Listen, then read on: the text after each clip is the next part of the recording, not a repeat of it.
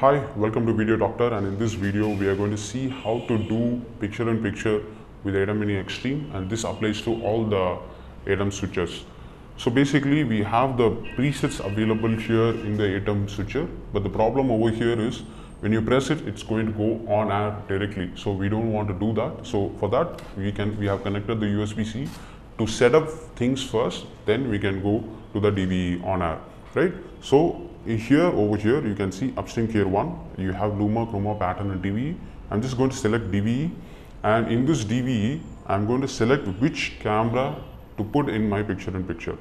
So I'm just going to select camera number 1 over here. And I'm going to select key 1. So when I select key 1, you can see in the multi-view, you are getting a picture in picture. So you can control that picture in picture with the help of the positions over the controls over here. You can check with the sizes and all those stuff. And again, you can choose whatever source you want to put inside this picture in picture. It's about your choice. You can put whatever you want. Let's say, for example, like a news kind of a setup if you want to put something like this bring the size down and bring a little bit upwards and sizing again down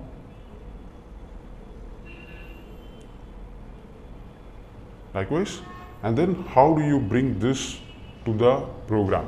So that's very simple. You can use your panel or the hardware. You can just hit auto and you can see it comes to the uh, program which is going to go live stream. And you can see it has automatically turned on the on over here. So if you turn it off your picture in picture will be gone. If you turn it on your picture in picture will be on. So that's how simple doing a picture in picture. And we have a lot of presets available over here. In terms of ATEM mini extreme you can do two uh, uh, picture in picture in one. So 2 plus super source is going to be 4, so that is 6. So that is another video to how to do a super source. Right now we'll do a 2 uh, picture in picture. And we'll also use a background, a nice background to fill it up. So first I'm going to media and uh, I'm going to select my background over here, something very good.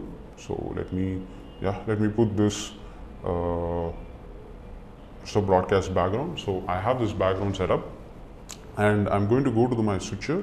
So in key 1, I'll put my media player camera number 1 and in key 2, I can just come to the key 2, again DVE and I'm going to put camera number 2. So in key 1, camera number 1, key 2, camera number 2. So for the preset part, we can come over here in the switcher part and select this. I can off also. I can select this preview and I can hit my, in the software control, I can hit my key 1 and key 2. You can see in the multi-view, I'm getting the key 1 and key 2. Now we need to select our background. I'm going to my uh, software control or you can use a hardware panel also. You can select your media player 1 over here which is available here and we, you can see in media player we have put this picture in media player number 2. So media player 2, you have the media player 2 I'm just selecting this media player and you can see immediately in the multi-view, you can see the background has been changed. Now if you want to adjust whatever is in frame, you can come to the switcher part and in uh, upstream here, you can do your masking and shadowing, all those things you can do and prepare everything for your output. But right now, everything is set for us. I'm just going to hit auto in the panel, auto, and you can see in the multi-view, you are getting the final output. So you are getting a two picture in picture and it is already there, right? So this is how simple you can access your, uh, do your picture in picture or DVE inside ATEM switches.